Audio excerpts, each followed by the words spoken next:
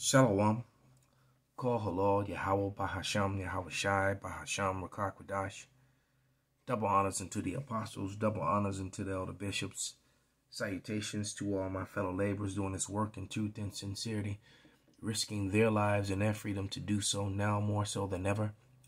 To the scattered elect that are scattered around the four corners of the earth among the heathen that look like the heathen, the Israelite foreigners and to the Akwaf that are listening and learning to you, I say Shalom. This is your brother Malcolm from the branch of the Great Millstone here in Chicago, coming at you with another lesson in truth. And um, as you can see on the screen, there's a video called Hollywood is Dead.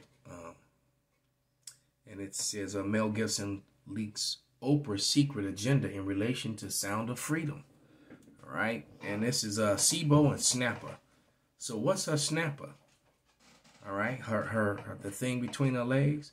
But then she also talks about the Holy Spirit. See this, this is a. Let me just go straight to this, and then I'll I'll let you listen to what they say. But they're they call themselves exposing wickedness when they're wicked themselves.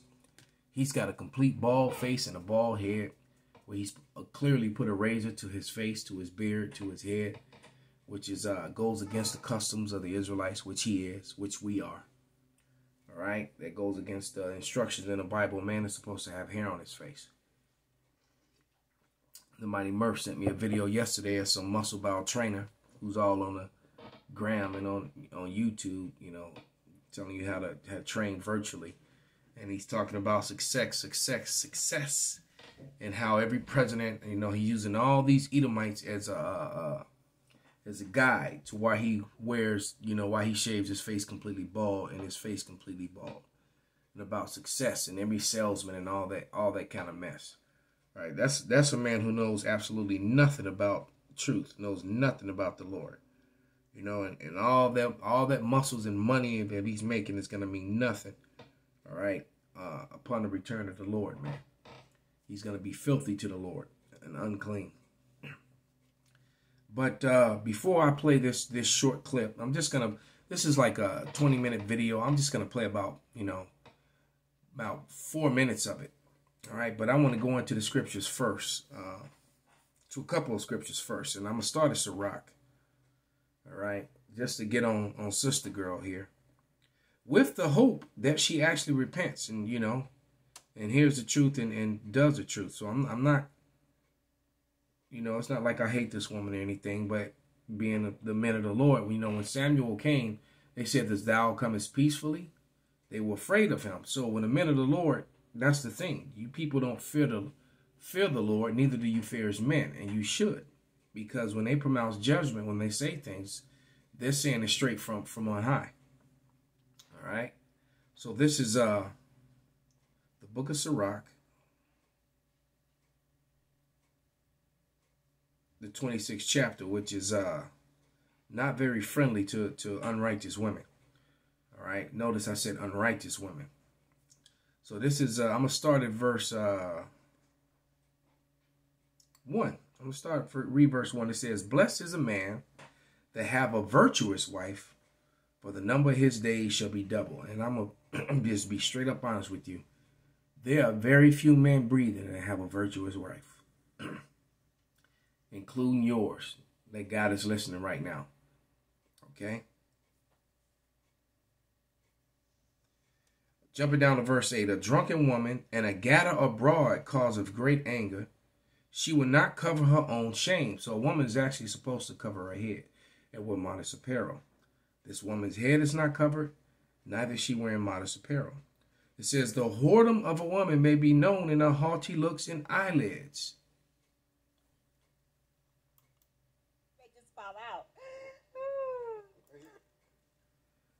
If the daughter, if thy daughter be shameless, keep her straightly, lest she abuse herself through overmuch liberty.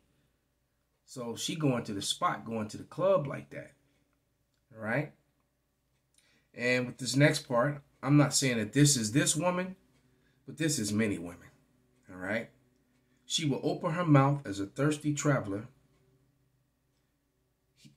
when he have found a fountain and drink of every water near her. So, uh, what do they call that? in the hood, sloppy toppy. Okay. Uh, by every hedge she shall sit down and open her quiver against every arrow. Pound Town. The grace of a wife delighteth her husband, and her discretion will fatten his bones. A silent, loving woman is a gift from the Lord. There is nothing much worth as a, as a mind well instructed. A shamefaced and faithful woman is a double grace, and her continent uh, mind can be cannot be valued. So the percentage of men who have that are next to zero. All right? They're next to zero. Uh, uh, Sirach 26 22. A harlot can be accounted as spittle. All right? But a, but a married woman is a tower against the death of her husband. All right? A wicked woman is given to the portion to a wicked man, but a godly woman is given to him that feareth the Lord. Right, so you know everybody goes through it with their women. If the Lord removes a woman out of your life, that was that was a purpose for that. All right, because a woman is either a blessing or a punishment. All right, or she's used to, to you know for you to grow. It says a dis a dishonest woman contemneth shame, but an honest woman will reverence her husband. A shameless woman shall be counted as a dog. We all know what a female dog dog is. You know, too short said it the best. But she shall be shamefaced, will fear the Lord. So everyone wants that shamefaced, quiet, uh, helpful, stand by you woman.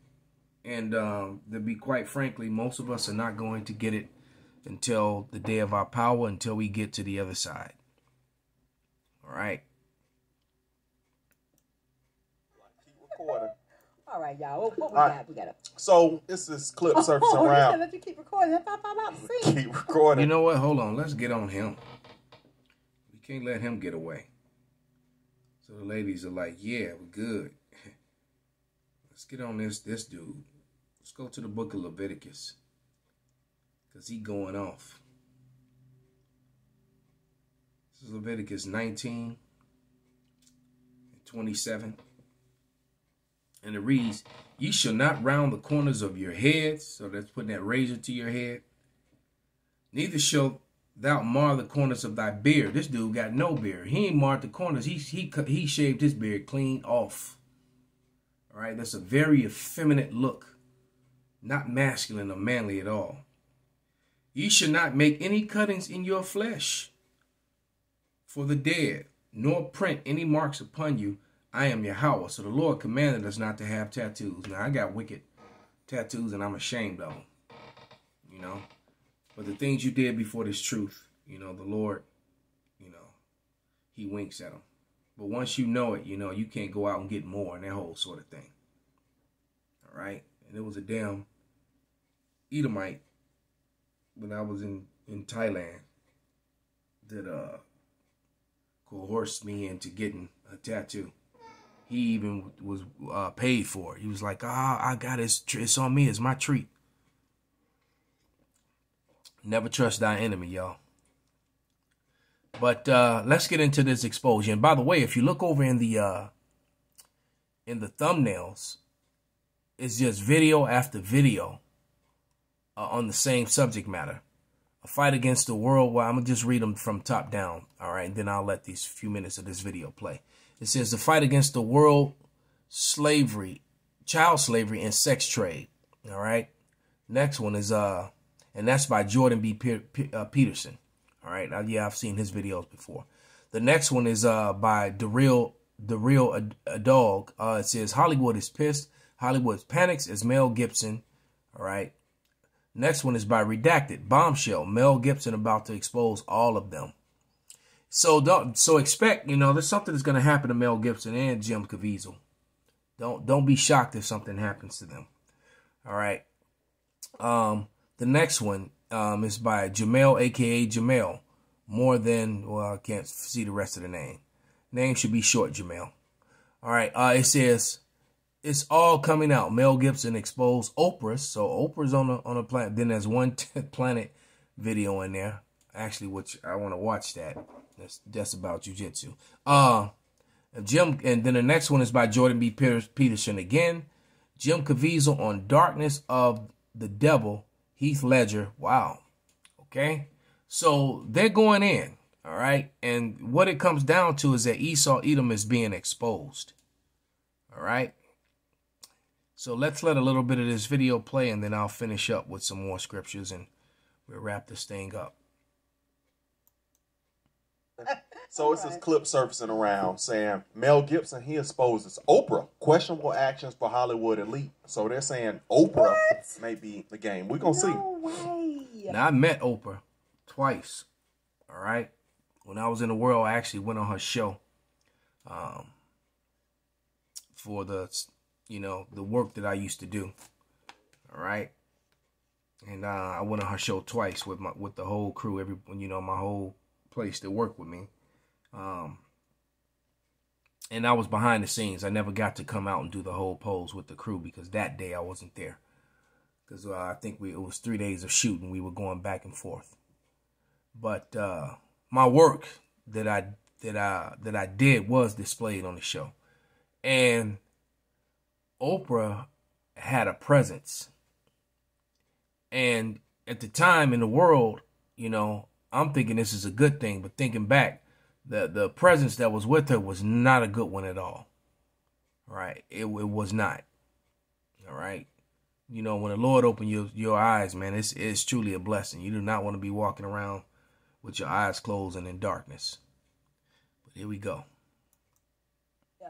We're gonna see how truthful it is. I You just don't see it. you get it. You get a kid. But I like to the benefit of the doubt. I really do. I have to allow the Holy Spirit to put things in my spirit. You get a kid. Now, you know, we just heard all the scriptures that we read, uh, you know, about her appearance and her apparel and her complete opposite of being a woman that's that's holy in appearance. She's not even trying. And talk about the Holy Spirit putting something on her spirit. And the Holy Spirit doesn't deal with women like that. Hold on. Like, You know what? because she's in a position where she's on a platform where she can teach and women are not supposed to speak publicly especially when when uh when it comes to to uh guiding men. That is a job of of a man and a man only. The only place that a woman is to speak is at home among you know she got the people in her household when her husband's not around those that are under her meaning her children. But this is uh first corinthians 14 and uh, 34 and 35, and it reads, Let your woman keep silence in the churches, meaning the body, all right? Because, you know, what, what you people call a church, that building, that's not a church, all right?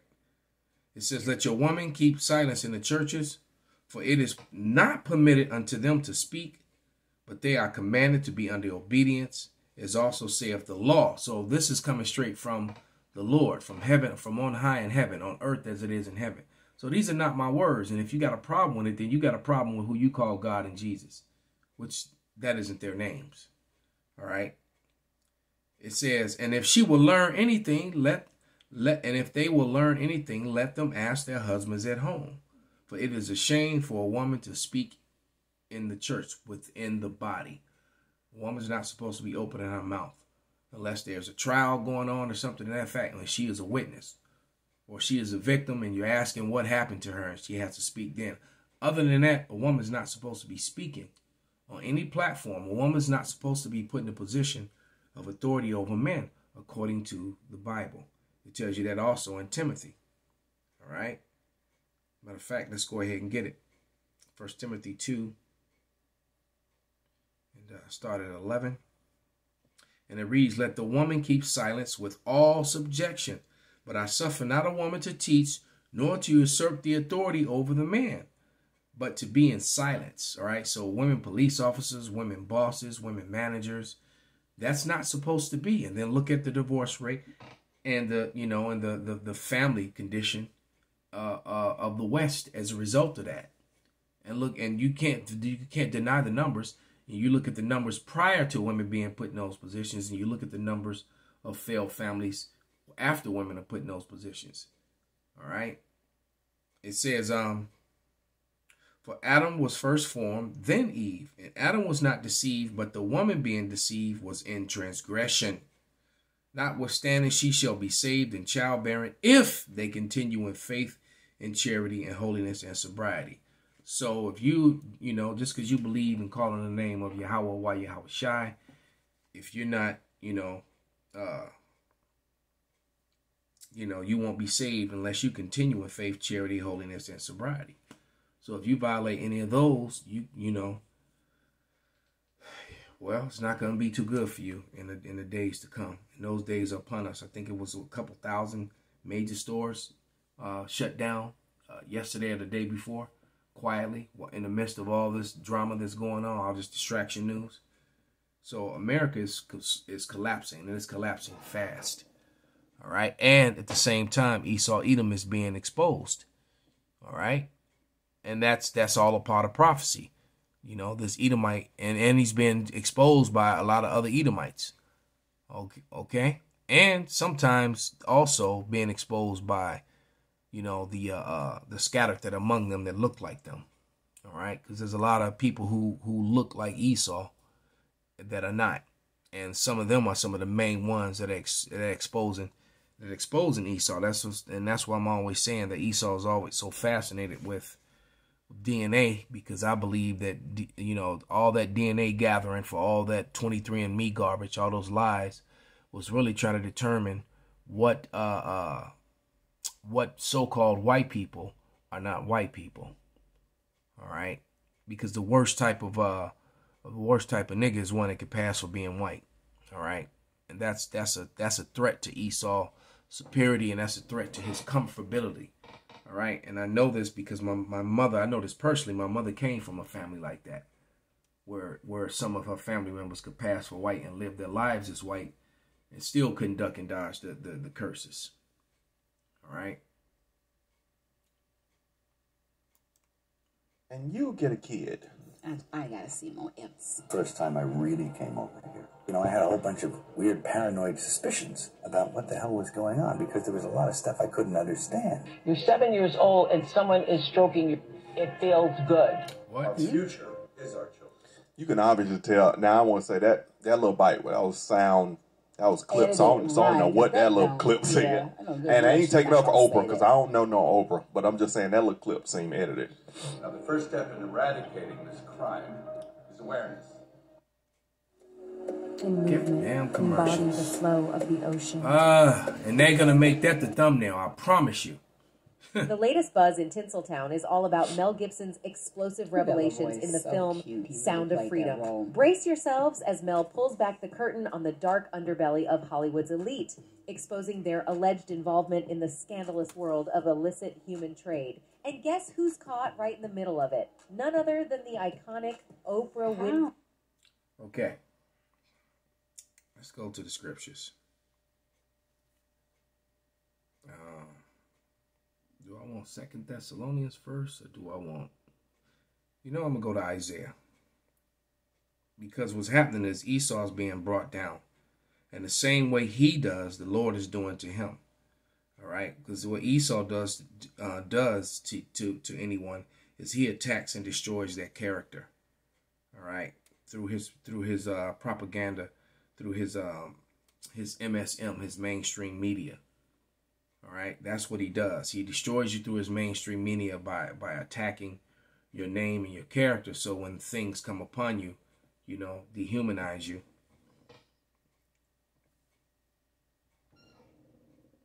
But this is Isaiah 14. I'm gonna start at verse five and read through. Uh,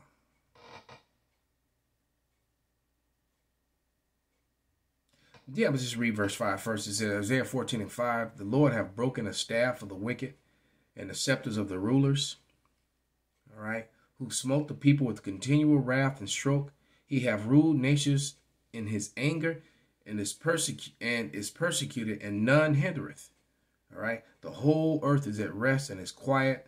They break out forth singing. Yeah, the fir trees rejoice at thee and the cedars of Lebanon, saying, Since thou art laid down, no fellows are come against us. So, you know, even the trees rejoice when this man goes down. All right. I mean, look at the condition of the trees now, especially here in the West with all the stuff that they spray in the sky. If you've been keeping up with my TikTok shorts. All right. It says, um,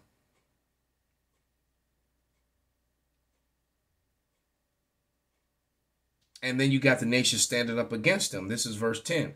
All they that speak and say unto thee, Art thou also become as weak as we? Art thou become like unto us? All right. So all these nations, you know, the BRICS countries and all these other nations that once would not even dare to, to look sideways at America now pointing fingers at them. Okay. Verse 11. Thy pomp is brought down to the grave, and the noise of thy vows and the worms is spread under thee, and the worms cover thee. So that pompous, arrogant attitude is being put on on display and is being brought to the grave. And worms are, are, are you know, are connected to the decay of death. Meaning America is dying. The power structure of Esau, Edom, the so-called white man, is dying. It's ruined and it's falling apart. And all the wickedness that he does, and his and his main partner, eh, one of his main partners in this whole thing is well, you said it. Look at it on the screen. All right. She was controlling that whole Harpo Studios. All right. A lot of men that, that were under her and worked for her. Okay. Yeah. And so that that undying, un unending uh, uh, bond between Eve and the serpent and the seed of the serpent, which is Esau Edom. All right, let's go to uh, Habakkuk.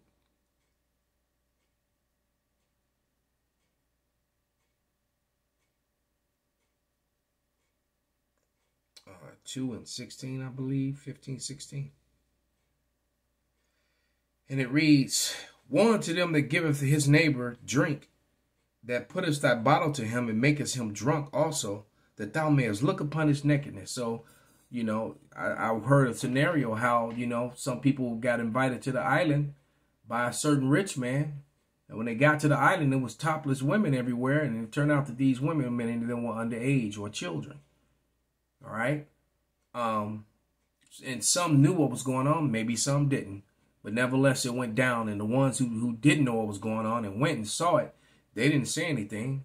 Well, maybe they didn't say anything because their pictures got taken uh, in the midst of this. And it just looks, that's just a bad look. Because you could be completely innocent of it, but your pictures, your image has been taken around these underage, you know, you just caught up. But I'm gonna not even give them the benefit of that doubt. I believe a minute majority of these people knew and were very well, uh, well aware of what was going on. All right. So you know they give you that drink, you know those philosophies to drink them, and you know you drink them, and now you're in a bad way, and now you're you're being shamed. Verse 16: Thou art filled with shameful glory, glory. Thou art filled with shameful glory. Drink thou also and let thy foreskin be uncovered, and the cup of Yahweh's right hand shall be turned upon thee, and the shameful spewing shall shall be upon thy glory. So, you know, even with their history, everything is coming out on Esau Edom. All the lies, the murder, the rape, robbery, murder, the land theft, uh, the the use of their their justice system un, un, uh, unethically and unequally and unjustly against uh, uh certain demographics of America right? Which we don't even need to name. All right? They're just being exposed. And the horrific things that they do to children, which is, you know, there, there's no forgiveness for that. This is Second Thessalonians 2. The whole the whole chapter is fire, but I'm gonna read I started, I'm just read verse 8. All right, and it says, Then shall the wicked be revealed, whom Yahweh shall consume with the spirit of his mouth and shall destroy with the brightness of his coming. And that, that mouthpiece is destroying them are the prophets, the men of the Lord. All right, that are that exposing all this wickedness. And that vibration that the men of the Lord have exposing Esau Edom is moving through the world. So with that, I'm gonna give all praises, honor, and glory unto Yahweh, Bahasham, Yahweh Shai, Bahasham Rakakwadash, Wa Abba Babal, Kwam Yasharala Shalom.